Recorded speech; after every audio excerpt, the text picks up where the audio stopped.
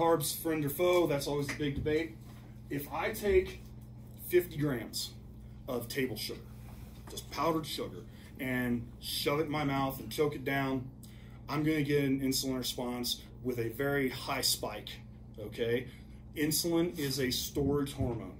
It is the hormone that drives nutrients into the cell, makes it very anabolic.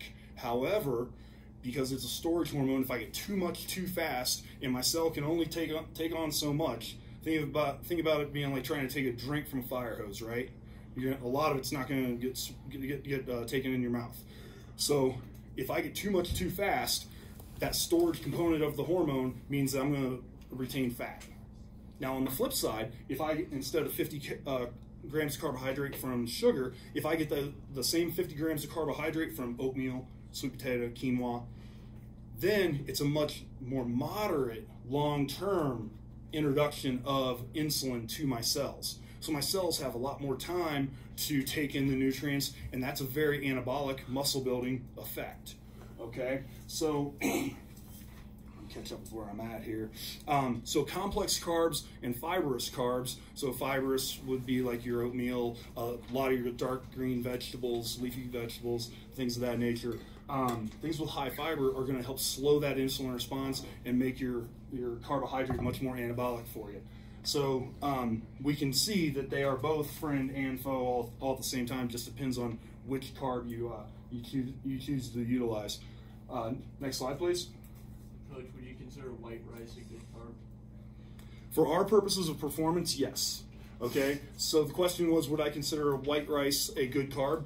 Um, it is a little bit higher on the glycemic index than uh, wild rice or brown rice, however, which means more insulin response. However, for our purposes, yes. The the answer would be, um, and this is going to be on a later slide, uh, dosage. You know, are we eating uh, four to six ounces of white rice, you know, based on how big we are, or are we eating you know, a pound of it, which is obviously extreme, but you get what I'm saying.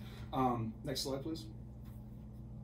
So your thyroid, basically, uh, it is the metabolic engine. So it's a gland that it controls um, blood glucose management, things like that.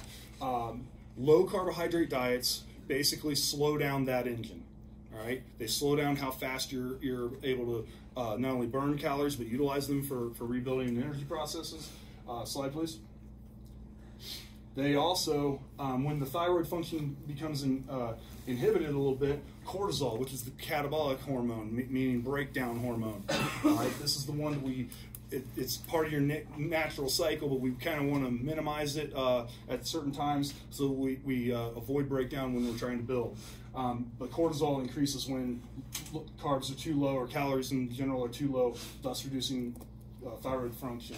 Next, next slide, please testosterone decreases. I think we all know uh, the, the, decrements there. Uh, slide, you can probably hit two. Thanks.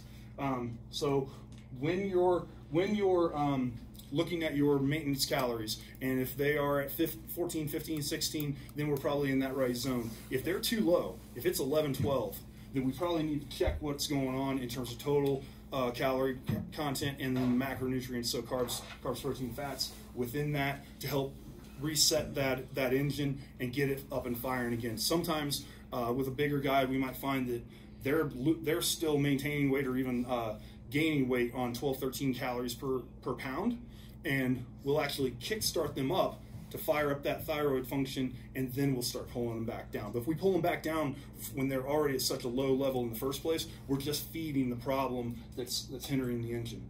So is everybody uh, good with me on that? Any questions on that? I know it's kind of a weird process. So you gonna cover like low carb diets in a later slide, like yeah, keto, okay. like how we how we would do it effectively. Yeah, I'm gonna go over that. Um, thyroid manages blood glucose, drives metabolism. Next, please. Uh, oh, these findings. You hit it again. These findings are all done on trained subjects. Talked about a little bit last week. Oftentimes, people uh, either manipulate the subjects or or uh, manipulate the interpretation of different researches. So often low carb advocates utilize obese, untrained, or people that have some kind of blood glucose uh, management issue. And for our purposes, that's not anybody in this room.